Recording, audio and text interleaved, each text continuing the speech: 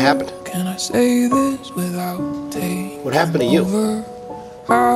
It's not like it I hate you. do I like you a bunch. almost But you just have that face. I did what I did because it was best for business, it was best for my career. It has nothing to do with our history.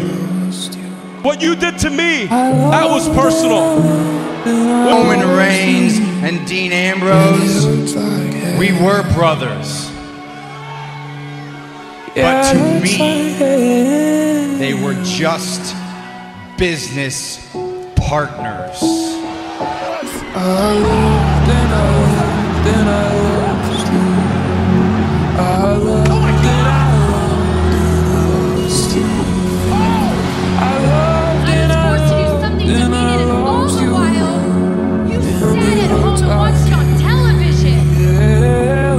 Knew a guy who looked a lot like you once.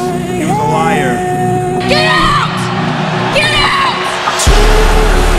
I would never make fun of your mental health. I you don't want to listen to what I'm saying? I'll let my actions speak for me.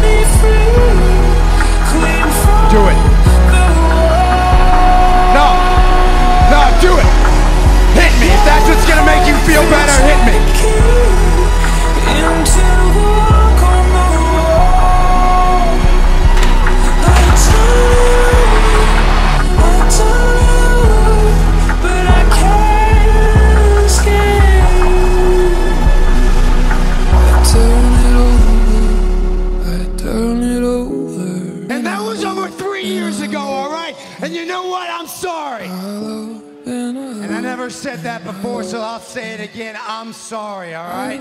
I live with that every single day of my life. Love ya.